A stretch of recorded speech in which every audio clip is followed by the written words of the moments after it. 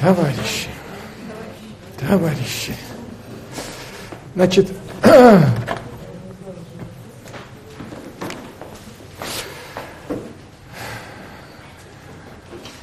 что вам надо? Значит, я решил вас сегодня развлечь. Да. Вот. Значит, у, у всех факт-карты же мы создаем. Ну, вот. А сейчас хайп. Вот. Идет Евровидение. Ну, вот. Да. Смотрели? Молодцы, правильно. Вот. Открыл газету «Коммерсант» 10 лет назад. Перед приездом Владимира Путина всю эту рожкость креативного подхода нам демонстрировал генеральный директор «Красного квадрата», одной из структур, занимающейся подготовкой Евровидения 2009, Андрей Курпатов. В этом человеке я не без удивления узнал известного доктора Курпатова, телеведущего и автора многочисленных брошюр популярной психологии. «Так вы продюсер?» – спросил я его. «Я – это Колесников». Да, безо всякого вызова и даже, можно сказать, скромно, пожал он плечами. Работал, работал и вот. Он обвел руками буфет, через который мы в этот момент проходили. Но больше я, конечно, известен как доктор Курпатов, добавил продюсер. Так вы все-таки кто больше, продюсер или доктор?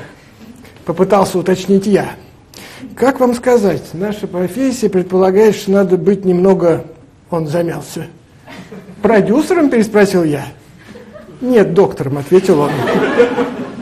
Мы зашли в огромный зал Олимпийского, сделанный в самом деле внушает огромное уважение, граничащее со смятением. На сцене такого количества проекционной техники, что, кажется, она сведена отсюда не только со всей России, но и со всей Европы. Что была чистая правда, нам и европейских экранов для Евровидения не хватило. Вот. И я хочу вам, соответственно, сегодня рассказать э, главную такую штуку – мы с вами живем в мире бесконечных интерфейсов. Люди имеют дело с... Проходили из простые интеллектуальные объекты и сложные интеллектуальные объекты. Вот когда люди смотрят Евровидение, у них перед ними простой интеллектуальный объект. Съехали страны, они поют песни, они, значит, там зажигают, вот, и потом кто-то выигрывает зачем-то. Вот. Значит, ну, на самом деле это гиперсложный интеллектуальный объект. Я думаю, что это одна из самых сложных вообще, в принципе, съемок, если не брать Олимпийские игры, конечно, дело. Вот. И я вам хочу последовательно рассказать, из каких элементов складывается этот, внешне, на, на первый взгляд, очень простой интеллектуальный объект. Ну что, концерт, конкурс, да, так вот. Вот. И я, как очевидец, собственно говоря, э, тут вся статья, долго мы ходим, он меня спрашивает, сколько здесь электричества? Я ему говорю, достаточно, чтобы обеспечить Зеленоград. Он меня спрашивает, и на Химки уже не хватит? Я говорю, я ему не, я не москвич, я не в курсе. Вот. Под крышей висят 160 тонн оборудования. 160 тонн оборудования было подвешено. Но я вам сейчас про это все расскажу. Ладно, а перед тем, как перейти от простого к сложному интеллектуальному объекту последняя моя любимая зарисовка из этой публикации. Так, эта ПТС была на глав, э, главной на Олимпиаде в Пекине, объяснил доктор. Мы купили ее у европейцев, будет задействована на Олимпиаде в Сочи. Разве не устареет морально, с тревогой спросил я. Нет, что вы, профессионально успокоил меня доктор. Последний, кажется, момент удержавший, чтобы не сказать больной. Мы вошли внутрь ПТС, это вот, собственно говоря, где происходит эта съемка. Доктор рассказал, что вообще-то один человек не в состоянии держать в поле зрения больше 9 телемониторов, а тут перед режиссером 24. И тут же убедился, я тут же убедился в правдивости его слов, говорит Колесников. «Зубом, зубом работай!» «Б!» – кричал режиссер в микрофон. Нагрузка на них, конечно, большая, вздохнул доктор. По-моему, они с ней уже не справляются, осторожно заметил Колесников. Двери закрыли, но... Значит, и, не оборачиваясь, крикнул нам режиссер, успевая на самом деле, как я убедился, не только реагировать на телемониторы, но и контролировать ситуацию в студии. Значит, э, сейчас я вам расскажу, что такое 24 камеры, вот, что такое проводить конкурс Евровидения. Надеюсь, вам будет в связи с этим забавно. Значит, я 10 лет назад был, а тут там был, меня Юля просто спросил, говорит, а что там? Вот, я, я вам должен сказать, это вы не в курсе, но будете. Профессиональные навыки при Альцгеймере уничтожаются последними. Ну вот. Почему, понимаете, да? Как думаете? Почему вы начнете все забывать, а просто... Что? Еще какие есть версии? Вот психиатр же, он уже не этот, а может быть в Альцгеймере, а диагноз заставить ловко. Как думаете? Потому что очень сложный интеллектуальный объект. Когда у вас интеллектуальный объект состоит из большого количества элементов, все элементы взаимосвязаны с друг с другом, и они создают мощность, из которой ну, сложно что-то как бы не может вывалиться, да, потому что вот пока есть эта бандура, то она не это вот. Так. Как говорили наши продюсеры, что бы это ни значило. Вот. Вот. ЕБУ. Ну, вот. Это Европейский вещательный союз, по сути дела, компании, которой принадлежит бренд Евровидения. Вот. Вообще, честно говоря, эта история, эта история в значительной степени про деньги. Вот. К сожалению, ни организаторов, ни выступателей, никого на свете, а вот этого прекрасного учреждения, Европе, как в Олимпийском комитете, Понятно, что все, что там можно и нельзя заработать, зарабатывает Олимпийский комитет, а не страна. Все остальные здесь в накладе. Вот, в данном случае есть ИБУ, вот, которая, ну там в свое время была организована, это союз э, европейских вещателей. Ну, вот, им принадлежит бренд, собственно, вся на этом конструкция заканчивается, и дальше они проводят этот конкурс.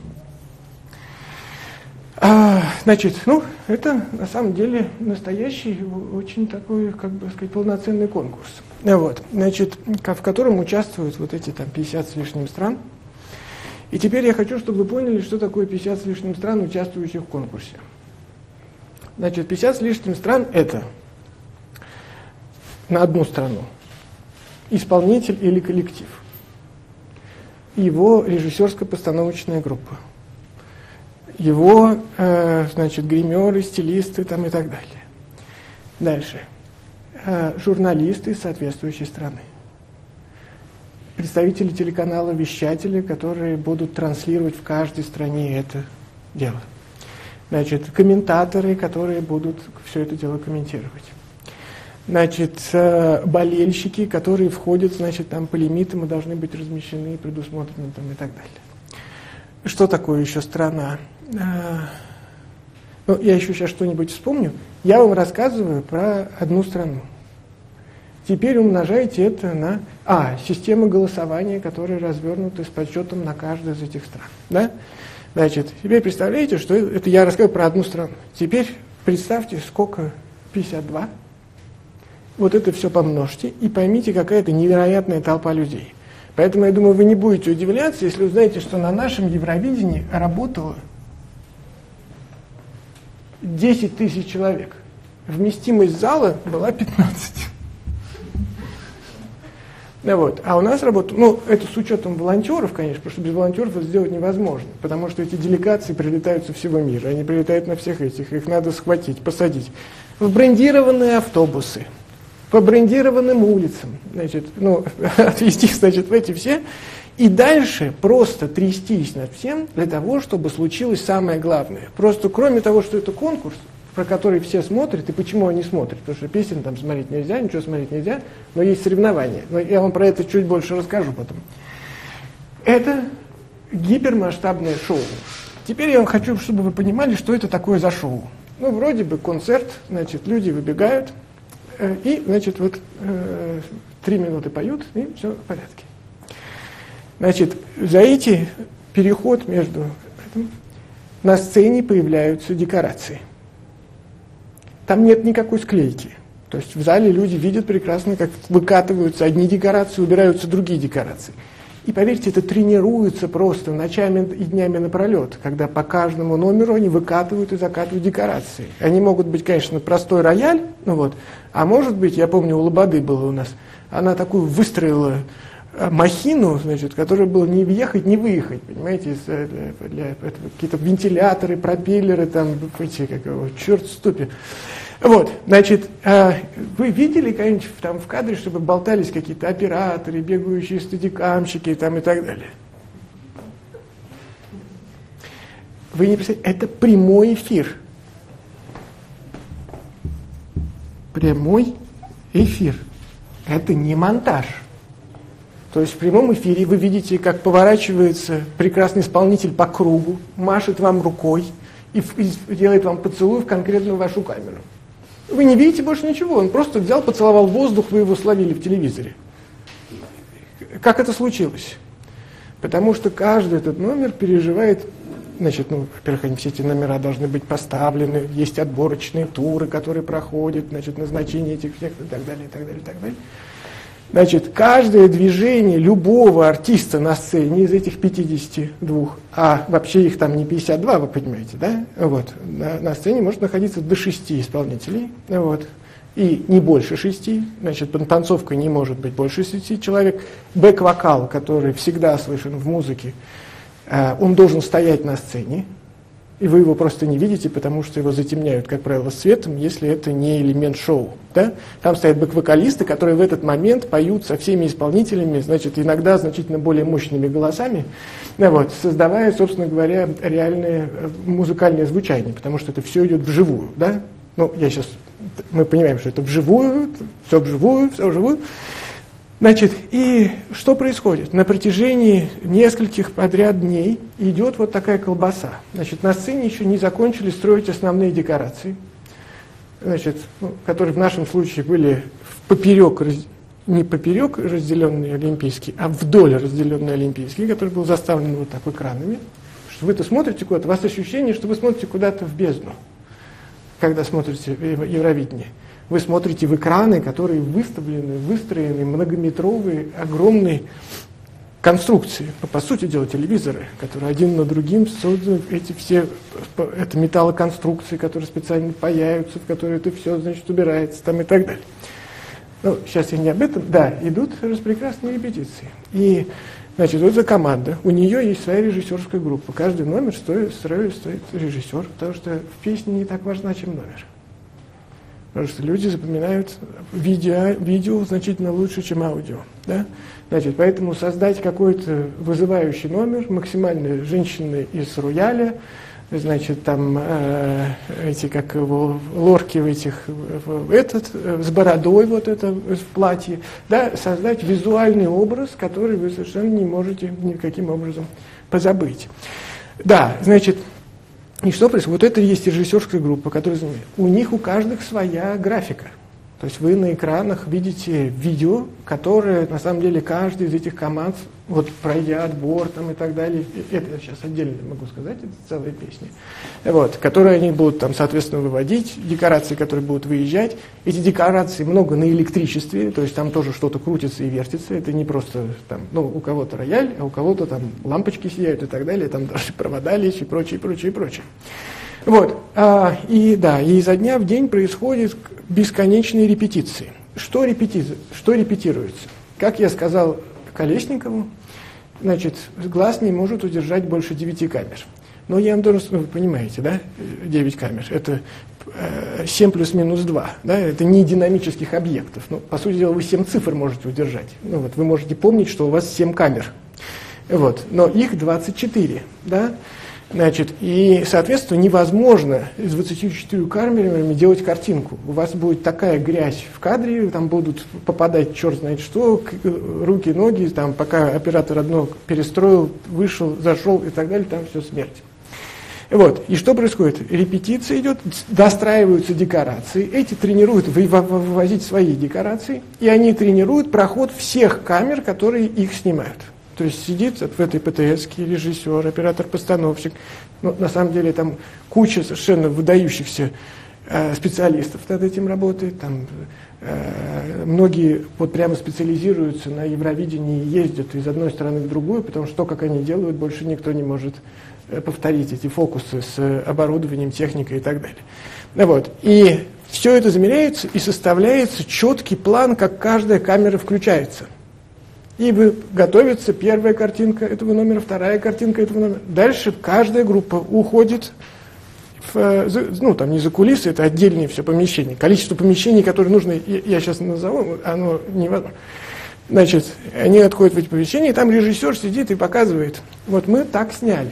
Режиссер-постановщик этого конкретного номера говорит, так, нам вот здесь не нравится, здесь попа торчит, здесь вот это свет, здесь вы нам это вот это вот и так далее. И дальше с каждым новым ходом отрабатывается полный алгоритм, потому что когда режиссер будет сидеть на прямом эфире, он будет просто жать на кнопки, зная в каждую секунду, шаг за шагом, что должно происходить. И в этот момент летают Э, камеры, которые подвешены к потолку, эти люди, которые ездят на таких электрических машинках вместе с камерами, ну вот, за которыми всегда бегают люди, которые тащат провод там и так далее. Вы этого ничего не видите. Это такая грязь и ужас, ну вот, как бы, если там, но там просто ничего не видно. Это проходит обычно в больших залах, и вот это все в этот момент не, не, не, не, не, не, не видно. Да, и это по каждой штуке такая проходит. И это я вам говорю только про репетицию номера. Я вам не говорю про свет, который там вешается, потому что то, что вы видите, это огромное количество. Я не шучу, у нас стояли генераторы для того, чтобы Зеленоград освещать. Вот такое количество было нужно электричества для того, чтобы осветить вот эти все световые приборы, все экраны, вот это все хозяйство, которое должно происходить. Вот, значит, да, это я вам говорю, шоу каждого номера, да? Вот. Но канал-вещатель, конечно, каждый должен выступить со своим э, супер-мега э, значит, э, э, шоу, которое открывает и закрывает. Как вы помните, как, это то же самое, как в Олимпийских играх. Есть э, открывающие, есть закрывающие мероприятия.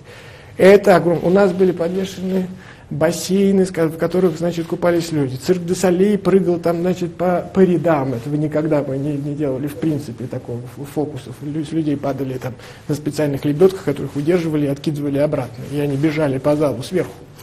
Вот, значит, э, то есть вот количество этих мероприятий, связанных с одним просто вот этим вот видео, который несчастный Билан, у него, значит, э, был еще э, был еще, кроме Дюсалей, был еще один цирк, я забыл название, бразильский, ну вот, тоже со всякими разными постановками.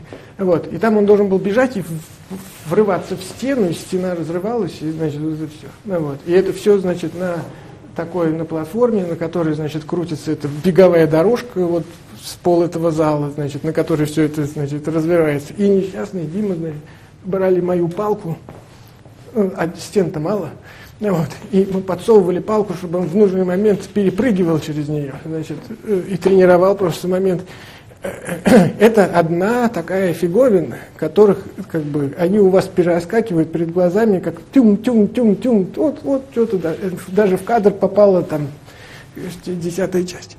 Вот, значит, условно говоря, это шоу, да, есть как бы открытие, есть закрытие. Значит, но мы возвращаемся к конкурсу, да, у нас есть здесь команда, у которой есть участник, значит, у которых есть там, значит, все группы сопровождения и так далее.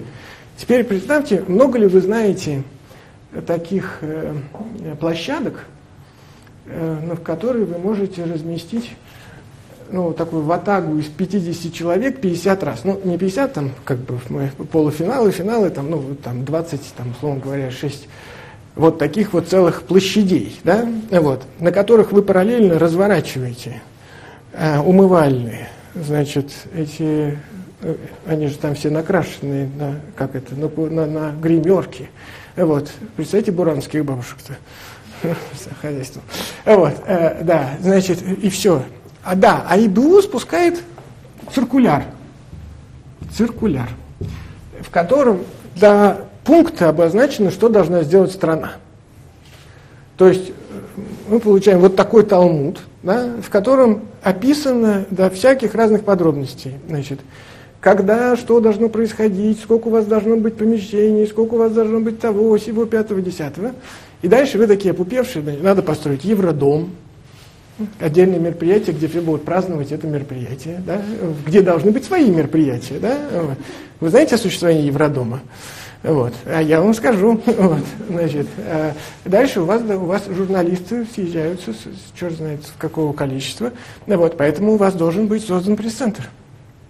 То есть место, где они будут э, сидеть за рабочими столами, которые вы должны развернуть для них, создать значит, э, ну, и это там десятки журналистов, там, как бы сказать, по самых разных знаковых изданий, и потом журналисты, которые по каждой стране, значит, со своим товарищем путешествуют, так сказать.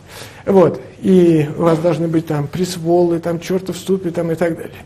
Но при этом там же не только режиссер сидит с, э, с, с операторской командой и обсуждает каждый номер – вот. Параллельно надо еще работать с прессой. И они по очереди, в четкому графику, каждый должен выходить на свою пресс-конференцию. Ну, там, у нас все посмотрели, условно, Лазарева, но в 52 странах в этот момент посмотрели кого-то еще. Да, и это, значит, отдельно вы должны построить конференц-зал, в котором будут, значит, наезжать эти журналисты и ходят, как, опять же, с репетицией на это э, э, люди на эту распрекрасную пресс-конференцию. Всех надо собрать, отследить, просмотреть и так далее. Система безопасности, это же тоже входит в структуру требований. Э, ну, представляете, когда такая масса людей значит, делает это шоу, ну, вот, э, в совокупности получается, видимо, больше, чем участников, зрителей, да, потому что я 10 тысяч человек это без команд и там, как бы сказать, всяких разных их собственных технических составляющих, значит, и представляете, там кто-то не туда зайдет и наступит не на, на кабель, на какой-нибудь. А чтобы понимали, там кабель, это же параллельно еще, ну, то, что это раздается на 52 страны, в которых одновременно, и больше, потому что его смотрит Евровидение больше, чем э, стран участвуют. Значит, и, то есть это нужно отправить на спутник и раздать со спутника всем этим странам одновременно. Да? Плюс нужно провести голосование. На это должна выехать отдельная значит, компания, которая сидит вообще в бункере, отдельно для них специально построенном, который, в которой сводятся все эти значит, данные про то, как все какие страны голосуют. И это же надо сделать буквально в минуты, пока когда это все происходит. Вот. Но сейчас они все усложнили, потому что в 2002 году это было возможно сделать. Просто, ну, посчитали, ладно, смс звонки в 52 странах, ну, бог с ним, значит, посчитаем, сведем, поставим в таблицы, выведем на экраны, все будет нормально, в общем, не переживайте. Ну, вот. А тут дополнительно, что же случилось? Вообще конкурс Евровидения ничего собой толком не представлял. Ну, вот, его сделали там пять стран. Испания, Британия, Франция, Италия, которые потом перестала участвовать. Вот, да. Ну, в общем, какие? Центральные европейские страны. И они были вся хозяйками всего этого мероприятия. Ну, а проходил, там Абба спела, там еще что-нибудь, там, ну, как бы, ну, вот, идет развитие. А потом возникла перестройка, вот, вот как системность процессов, да. Перед Горбачевым, кстати, ему было предложение послать первого кандидата от СССР, вот, которым должен быть Валерий Леонтьев. Вот. Но Горбачев сказал, что это, видимо, будет слишком радикальное решение. Вот, да, и, да, чтобы показывать советским людям такое мероприятие. Вот, но как бы там ни было, значит, э, э, э, то, что произошло, вхождении э, Восточной Европы в, евро, в евро, евровидение, все поставило с ног на голову, потому что началось так называемое соседское голосование. Значит, ну, то есть, вот, условно говоря, вы всегда знали, какие баллы, какая страна плюс-минус кому поставят. Да? Ну вот, это было всегда соседское, братское голосование. Вот, э, э, э, да. И дальше это превратилось в катастрофу, что стали выигрывать одни восточноевропейские страны. Вот. А золотая пятерка торжественно стала занимать последние места в общем списке, потому что там у них, в принципе, все это не смотрят, видели в гробу в белых тапках, потому что, ну, пока в Британии, вот, в, в, так сказать, в Лондоне, э, а посмотрим Евровидение. Ну, э, э, ощущение некоторого стресса должно возникать. Вот. Они к нему как к комическому конкурсу находятся, что он, собственно говоря, отражает в значительной степени. вот. Да, и дальше вот мы представим себе Э, что вот это все происходит. Я вам сейчас просто говорю про подсчет. Да? Значит, и стало понятно, что с этим надо что-то делать. И что сделали? Придумали жюри. Значит, 52 страны, в каждой есть вещатель. Вещатель в каждой стране должен собрать жюри, в которое будет состоять из пяти человек, которые не являются работниками этого, являются певцами, композиторами или музыкантами, есть требования. Значит, они должны будут посовещаться и в этот момент выдать свое решение, которое должно суммироваться по сложной формуле, значит, со всеми голосами, которые выбрали, и оно появляется на экране, goes to, там, 20 баллов, 12 баллов пошло, значит, куда-нибудь, э, кто там выиграл? Нидерландам. Вот, да, и значит, это я просто рассказываю про голосование. То есть их надо всех смониторить, их сорганизовать, все должны как бы сдать, все должны сидеть на пультах, на связях и так далее. Все. При этом параллельно идет трансляция, все ее должны транслировать. Там у нас Чурикова все время была, и она, кто-то там еще у нас, а, Юрий Викторович, соответственно, вот, э, э, жгут, значит. Вот, э, да, и это тоже все должно случиться в секунды. Я просто хочу, чтобы вы понимали время и количество действий, которые необходимо проделать вот этим всем бесконечным людям для того, чтобы... Вот. Да, я сейчас рассказывал про, про там, да, Евродом, вот я помещение вам стал рассказывать. Э, конференц-центр, конференц, э, пресс-центр, конференц-зал, всех нужно кормить. Я почему про это вспомнил? Потому что рядом со всем этим должен быть выделено отдельное здание, построенное, ну, у нас это для ВИПов, вот, ну, там, потому что это представители делегации, послы, там, черт в ступе, кто только может не прийти на все это мероприятие, ну, вот, само это ЕБУ, чтобы это не значило, там, и так далее, и так, и так далее. Ну, вот, и они все занимаются тем, что там вот это все веселье, им нужно тоже подвести электричество, их нужно накормить, но надо накормить и всех остальных, потому что, вы представляете, вот э, вдруг 10 тысяч человек решило выйти перекусить. Технически, представляете, мероприятие, так они через одну дверь так сложились и, и вышли. Э, вот, значит, да, и, соответственно, это организация всей столовой, постоянного питания, талонов, учетов там и так далее, пятое, десятое. А, я вам про другое говорил. Я говорил про Э, про безопасность. То, что представляете, когда вся эта толпа функционирует. Да? Ну, ладно, диверсия. Ну, то есть, э, от диверсии, ну, значит, это система, при которой организуются специальные зоны, куда вы можете иметь доступ. То есть каждый человек, работающий на проекте, в зависимости от своего уровня доступа, имеет доступ, там, самый высокий доступ, там, условно говоря, в ПТС. Ну, то есть, чтобы войти в ПТС, нажать на кнопку и сказать там на 52 страны, что вы в целом чем-то недовольны, например, да? Вот. Вспоминаете эту первую серию «Черного зеркала». Вот. Да, значит, и все есть зоны доступа, куда вы можете попадать со всеми этими делами. И представьте, вы должны всех людей, всех вот это, вся эта это регистр, как-то центр регистрации, как-то вот, это огромное тоже такое, мы отдельно выстраивали, вот, куда, значит, все эти делегации, все их, э, эти фанатские группы, значит, там прочее вся, которые имеют свои доступы, там такое сердечко обычно у сцены, там вот, значит, основная гей-тусовка ездит, значит, она как бы тоже их отдельно надо организовать всех, вот, выдать соответствующие, э, как это, э, бейджики, которые будут еще электрически работать, потому что это не просто бейджики, как бы, э, вот. Это должна быть конструкция, при которой вы все прочипированы, и вы можете пройти в эту зону, в эту зону вы пройти не можете, и так далее, и так, далее. Вот. Э, да, да, и, ну и плюс понятно, что кто-то просто не, не ну как бы мы, спря, мы прятали все провода, какие только можно было происходить в специальные кожухи, потому что, представляете, это все уже идет от экранов, кто-то просто побежал, что-нибудь покатилось, кто-то что-то дернул там и так далее, и у вас вылетает там экран посередине. Причем на репетициях они вылетают регулярно, потому что пока вы их там все убедитесь, что они не вылетают, это у вас и запасные стоят на этих местах, вы с этим всем делом не закончите. Вот, билеты. Вот, да, отдельная программа, а, отдельная программа, билетная программа, да, значит, если вы думаете, что легко продать билеты на полуфинал,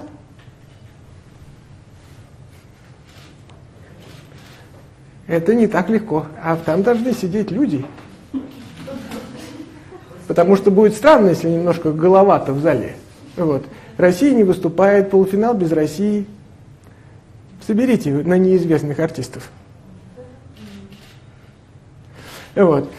Да, ну и, ну и плюс надо эти, э, все эти сами билетные, кому что, какие квоты, за кем что закреплено, как оно распределено там и так далее. Это просто черный тоже черный ужас. Вот, билетная программа. Что еще рассказывал? Значит, ну, про, если про деньги говорить, да, ни один вещатель не способен потянуть такое мероприятие. Это гипердорого. Ну, во-первых, просто чтобы вы понимали, там, насколько нужно снять Олимпийский для того, чтобы в нем построить вот эту всю подвесить 160 тонн оборудования, отрепетировать эти 52 номера, э, я не знаю, перевстречать всех журналистов, вот это все. Э, э, ну, да, это, ну, у нас это больше месяца занимало, ну, по-моему, даже больше, я сейчас уже боюсь, три, наверное, мы вошли. Да, вот, и это просто надо взять и закрыть огромную площадку. Ну вот, я не говорю про электричество на Зеленоград и так далее, и так далее. Да? Вот. То есть это огромнейшие затраты, это огромнейшие просто технические всякие разные построения этих конструкций. Экраны там не только сзади, они под людьми, над людьми, за людьми и так далее. Экраны тоже, кстати, двигаются, тоже на специальных лебедках, тоже все просчитано, соответственно, в этих режиссерских сценариях, кто чего куда жмет в какой момент, куда летит какой статикам. Вот. А, да, значит, да, поэтому это, это вопрос финансирования. Некоторые страны отказывались от проведения, потому что это просто невозможно физически потянуть. Нету специализированных мест, где такое можно производить. Понимаете, но вы не можете Евровидение сыграть э, в Фиште, например. Он слишком большой для Евровидения.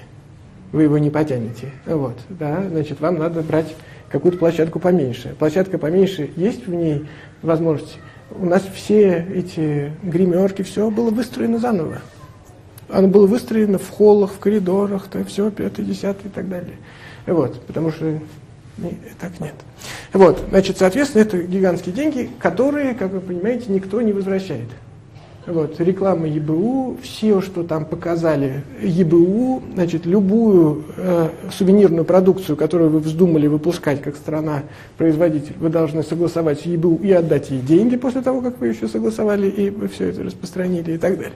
Вот, в общем, количество, ну, это отдельно. Вообще мерчендайзинг – значит, отдельная часть, потому что мерчендайзинг начинается с своей порта и, и проходит до, потому что вы встречаете все международные делегации, которые прутся, и они должны вас видеть по всем этим конструкциям.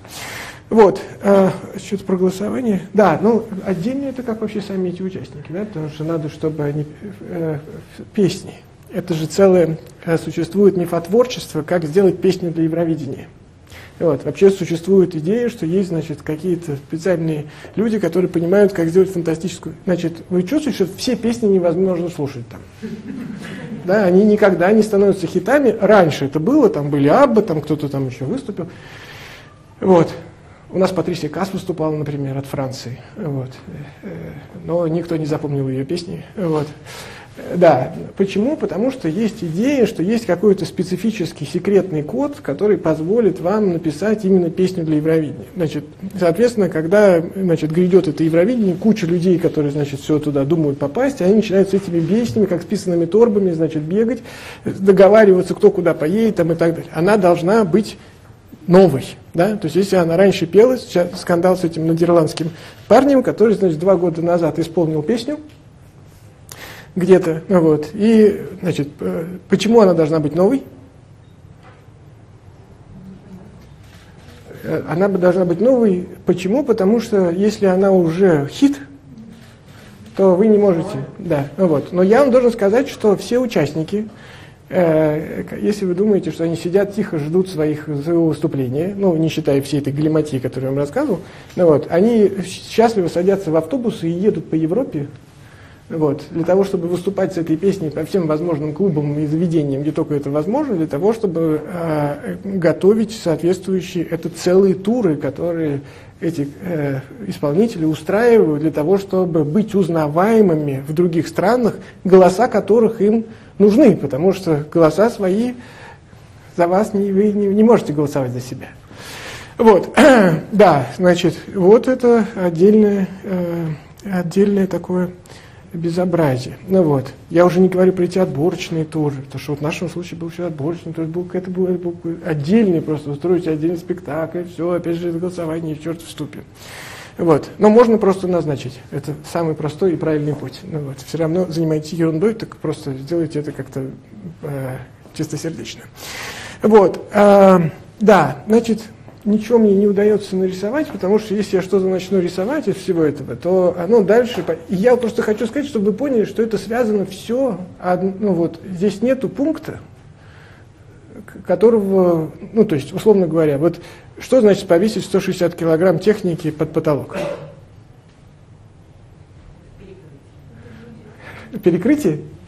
Ну, ну, первое, да, надо увериться, что потолок это выдержит. Ну, вот, поэтому у нас целая бригада архитекторов работала над тем, чтобы проверить и убедиться, что это вы, вы, вы, вы, вы, вынесет это все хозяйство.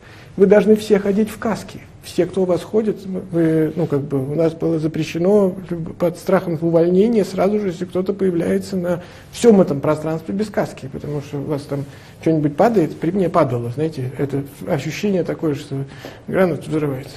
Вот, значит, и это сколько у вас должно альпинистов работать, которые поднимаются, все это крутят, там приверчивают, потолкуют. Вы видели вот этот э, Олимпийские игры, когда были в Сочи, вот э, этот вот парад этих всех э, летящих этих объектов? Они же летят на лебедках, пристроенных, прикрученных к потолку. При том, что у Фишта не было потолка. Ну, по проекту зачем ему потолок? Не нужен. Он нужен для Олимпийских игр. И поэтому был построен поверх потолка потолок, к которому была привинчена вся галиматья, которая ехала, значит, из одной части в другую. Ну вот, но я про этот ужас, в принципе, я его видел со стороны и как бы э, просто могу, так сказать, выразить сочувствие и чувство Э, как бы, ощущение гордости за то, что ты знаешь людей, которые в этом умирают. Ну, вот. Но здесь то же самое. Здесь у вас, а, опять же, то есть просто привинтить какую-то фиговину, вы должны провести технические расчеты. Так, вы их не проведете, все говорят, потому что оно рухнет на все. Ну, как бы все делегации, конечно, приедут, вот, э, вот, и так далее. Да? Я просто хочу сказать, что в таких сложных интеллектуальных объектах все элементы взаимосвязаны с друг с другом. Понимаете, я помню, не привезли воду для альпинистов. Вот. А они там были половина иностранцев, потому что у нас столько не было. Я скажу, что они выйдут на работу. Вот. А вы это должны сдать как бы секунду в секунду, тютельку в тютельку там, и так далее. Вот. А, да. Что я вам говорил? Да, и вот идея состоит в том, что каждый элемент, ну там, вы неправильно кого-то определили по охране, и он зашел не в ту зону там, значит, случился какой-то кирдык прекрасный. Вы, значит, здесь, э, этот, как его, при службе не дали ее тайм-слот для того, чтобы она написала в статье газету, более худшего Евровидения никто не организовывал никогда, да, и это сразу огнем по всей, значит, э, вот вы потратили эти немыслимые деньги на то, чтобы всех удивить своим невероятным шоу, размахом, э, креативом и так далее, и просто из-за того, что там, условно говоря, у них сломался компьютер, я не знаю, не в то время наложились друг на друга какие-то э, пресс-конференции, и да, и все, и, и, ну вот, э, репутационная просто невероятная катастрофа. И вот просто я хочу, чтобы вы понимали, что когда вы смотрите, вы когда смотрите картинку Евровидения, Это все равно, что вы смотрите в iPhone. То, что когда вы смотрите в iPhone, вы не смотрите в черное зеркало. Вы смотрите в перманентный, непрекращающийся труд сотен тысяч людей, которые в этот момент обновляют приложение, э, значит, э, борются с кибер всякими разными неприятностями, шифруют там, и так далее, и так далее, и так далее. Мы живем в мире чрезвычайно сложных интеллектуальных объектов, которые невозможно... Э, я здесь не рассказываю вам про креативную часть. Потому что там еще есть сценарий, там есть сценарист, утвержденный, все там и, и так далее. Всех этих открытий, закрытий, что отдельная катастрофа. Вот. И я просто хочу, чтобы вы увидели, что мир, в котором мы существуем, при его такой внешней как бы, ну, простоте и, как бы сказать, вот. Это, и вот я иногда, знаете, мне говорят, вот мы сделаем бизнес, мы сделаем что-то крутое. У, у, меня ощущение ступора. Ну вот, крутое делается вот такими массами людей, с огромными технологиями, с невероятным количеством компетенций. Вот, просто, ну как бы, и это, конечно, примитивная вещь. Ну что такое Евровидение?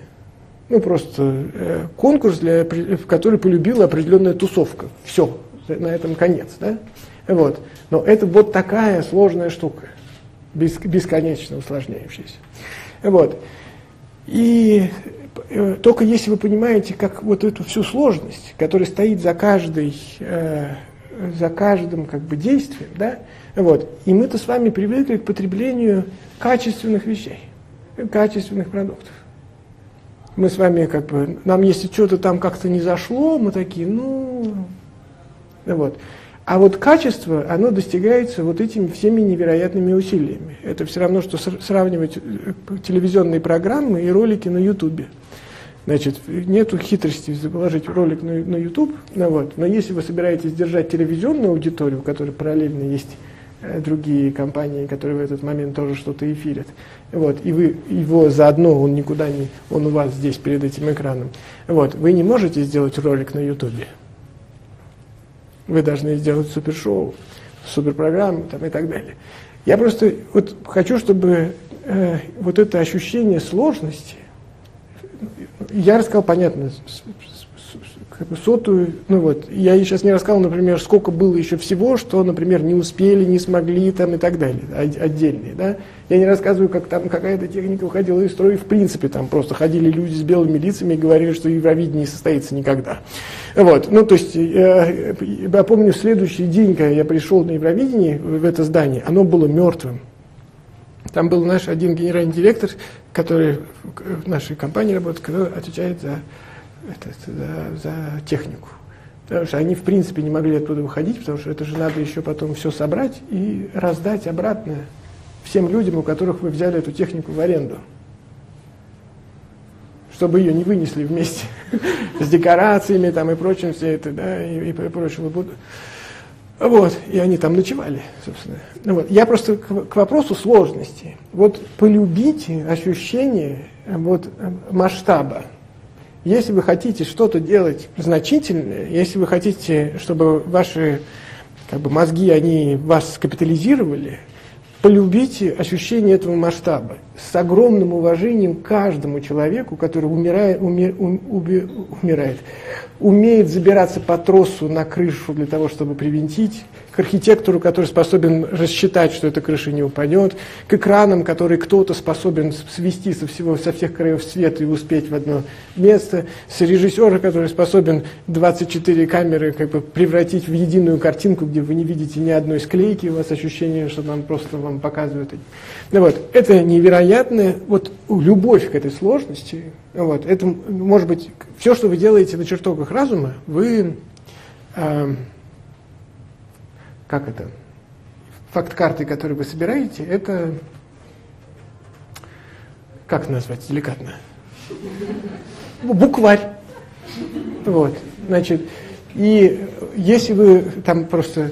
Сейчас мне очень нравятся письма, вот, как бы вот сейчас поток, который э, чертог. Но я помню раньше, некоторые участники не дадут мне соврать. А вот, э, и да, но это букварь по сравнению с великой русской литературой, которая представляет собой все то, что вы видите предельно простым, красивым, безукоризненным, айфоны, медицинская помощь, э, проведение каких-то крупных мероприятий и так далее, и так далее. И так далее. И, вот. и это распространяется, конечно, на все сферы, на общественную деятельность, на бизнес, на политику, на все места, куда только возможно. Вот. Только понимание того масштаба, который стоит за каждым вот этим всем, оно заставляет вашу голову, так сказать, получать дофаминовые всплески вот, от сборки по-настоящему красивых интеллектуальных объектов. Вот, так что, что еще вам сказать про, про Ох, ох, ох, ох. Да. Я как в пропасть смотрю. У меня перед глазами пробегают люди сейчас, ну вот, каждый из которых, без которого бы не состоялось это мероприятие. Ну, то есть, моя роль была скорее, как бы сказать, всех их как бы, держать, чтобы они не сходили от, от ужаса. Вот, потому что главное ощущение – это ужас, вот, э, который у тебя происходит. Ну, вот, но я просто сейчас их вижу, и по поводу каждого есть такая гиперистория, вот, которая его сделала тем не, необходимым винтиком очень тривиального телевизионного шоу под названием «Евровидение». Ну что, сделаем перерыв, я отвечу на вопросы на ваши, да?